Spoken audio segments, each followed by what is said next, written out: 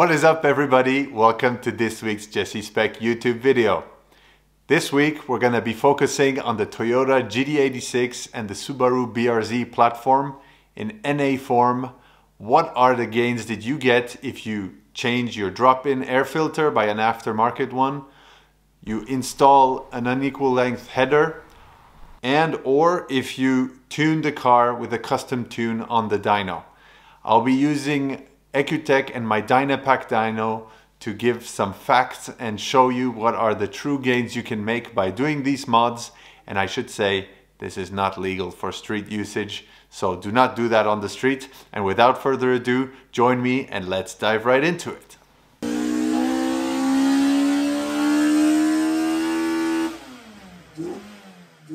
All right, we're in the warehouse. So let's dive right into it. So there are a few things that I want to do in this video. First of all, not only showing that mapping these cars actually brings something, but without even touching anything on the ECU. Does this kind of drop-in filter make a difference? Do we gain anything, even on a stock tune? That's the first question I want to answer. The second question I want to answer is, how much do we gain and how much does it improve the drive feel and the torque curve by installing an unequal Tomei powered um, exhaust header? And the final thing that I would like to show you is how much gain there is once we put both of these things and also map the car and see what are the gains in that perspective. So without further ado, join me and let's dive right into it. Okay, let's get things started, or I should say jack up the car first and then remove the wheels so we can put our hubs for the hub dyno. So usually when you install a Dynapack dyno on a car, you need to remove the wheels and then you're to take these hubs and install them onto the lugs in order to have a one-to-one -one connection to the dyno and course you're to have to run the car in fourth gear or fifth gear on the 8.6 platform. So you have the closest transmission ratio to 1 that means 1 to 1 with the engine. What's pretty incredible with this Dynapack system is the screws and the lugs do not need to be tightened as tight as the factory wheels should be tightened because basically there are way less constraints than a regular road usage and less vibrations as well. So this means that tightening it by hand, of course with a solid big uh, spanner, is mandatory However, you can really, uh, you do not need to put 115 newton meters of torque on it to tighten it because uh, since there's so little vibrations and ways of it to come loose in comparison to a regular uh, wheel on the road, this actually really works really well and you don't need to go into too much effort of tightening everything to spec and removing it after is also less of a pain The car is now installed onto the dyno. Now checking a few things. As you can see here, I have a new setup for cooling. So we're gonna, I have a tank of 250 liters of cold water that I'm bringing through these green hoses into the dynopod so I can do more steady state tuning for longer. I should note that there is a stock catback on this car. The only thing, so the car at this moment is still 100% stock. And so let's get into the car now and start preparing everything for the dyno runs. As you can see, this is the Kouki version of the GT86. Of course, very important, always open the door when you're running a dyno because that is really dangerous and you can suffocate with exhaust fumes and it's very you don't feel it right away so take care of that so now after we're going to be going hard on the dyno so open the water make sure the pump is activated as well check that we have equal water flow from both hoses so we can see we're all good and now we can jump into it and start checking the power figures of this car.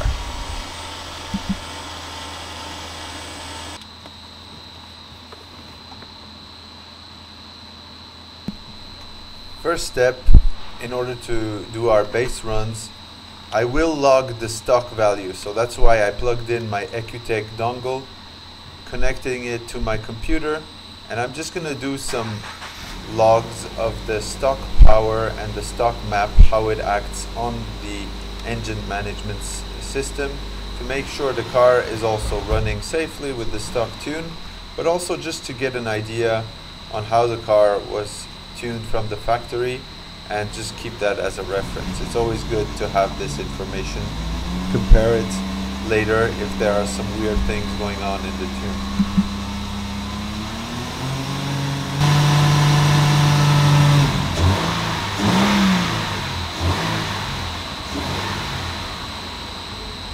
So now let's warm up the car, quickly look in the maps, make sure to log the values when we're going to do our first pulls and see if everything's running perfectly. I should also say that it's really important that you check the RPM that you read on your dyno and compare it to what the ECU is telling you because if you're not on a perfectly one-to-one -one ratio you will have discrepancies in the RPM and that will give you weird readings on your dyno. So make sure to get the RPM information perfect.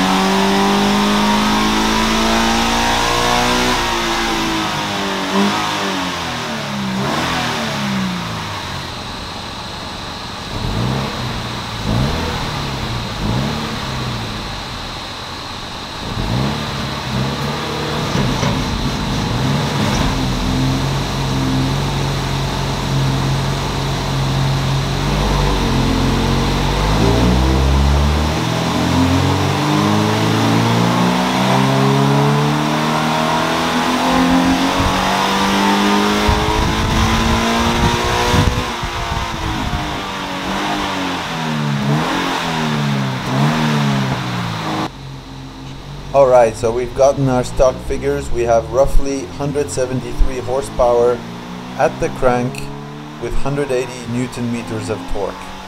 In stock form, stock air filter, exhaust, everything, 100% stock. And the engine is also almost brand new. It's like 15,000 kilometers on the clock as is.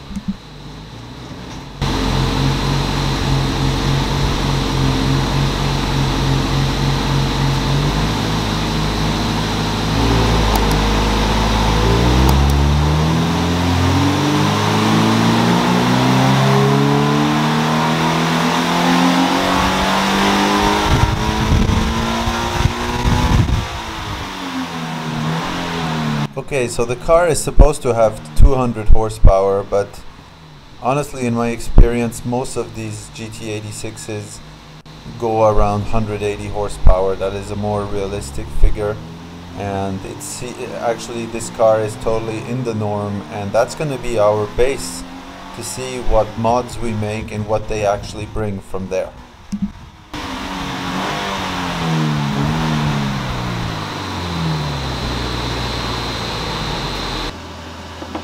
Okay, so here we are.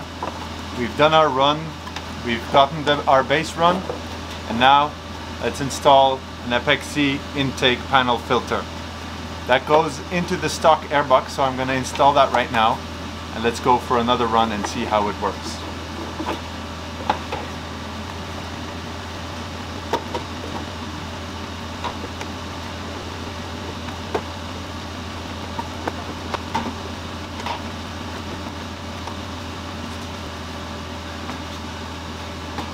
Okay, air filter installed.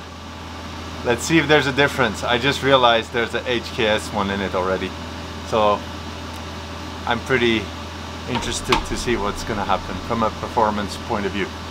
Let's take a look at it.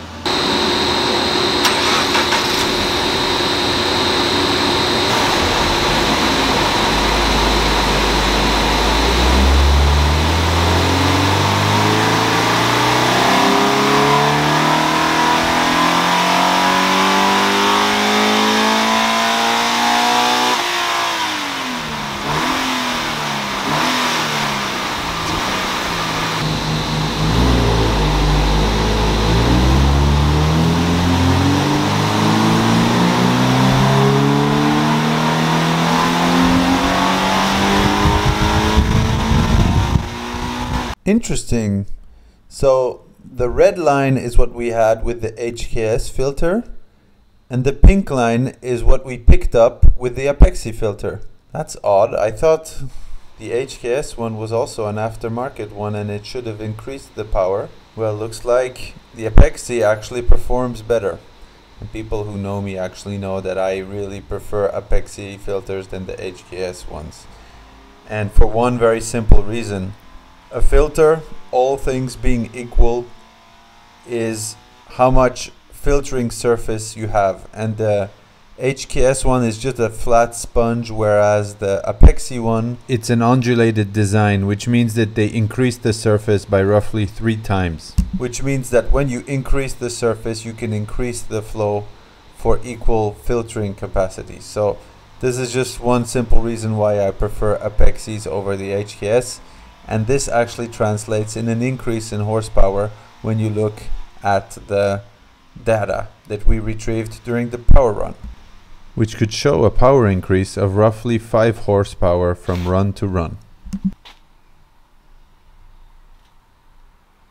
So now that we see that the filter has brought something, let me show you this work of art, Tomei powered, unequal length exhaust header that we're going to be installing on the GT86.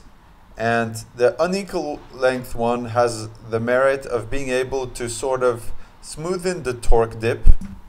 And also give you a really nice boxer sound. Since it's unequal length it will actually change the sound of the engine which really makes it nice. And it really gives you the well-known Subaru rumble that we all love. So that's a good mod in my perspective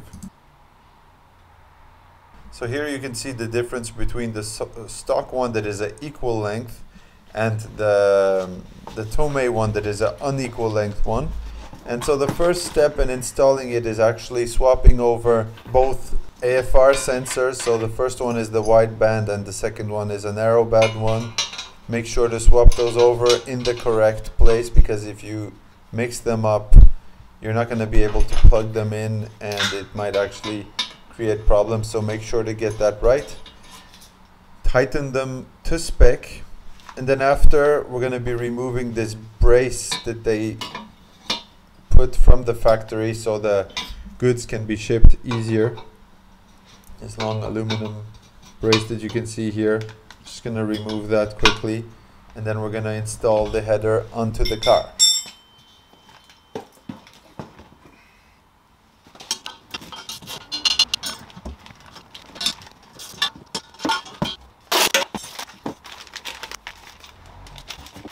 So here you see a heat shield that is made for the oil pan that you have to stick on it in order to prevent the headers from actually heating your oil. There's also some sealant that is delivered with it. And let me show you quickly what it looks like when you install the heat shield onto the oil sump. This is really where the header is going to be passing, so it's important to protect it from heat radiation. It will actually otherwise heat your oil uselessly, which is really not beneficial for your power gains. So let's take a look and see what this baby looks like once it's, once it's installed. It is really a work of art, this header, and I cannot wait to actually show you the improvements of the car once we tune the car as well with the new header and also just installing the header will activate actually an error code because the there is one catalyzer that is deleted through this. So of course this is not legal for road usage but you have to change something in the tune so that the ECU doesn't throw you a default code regarding that.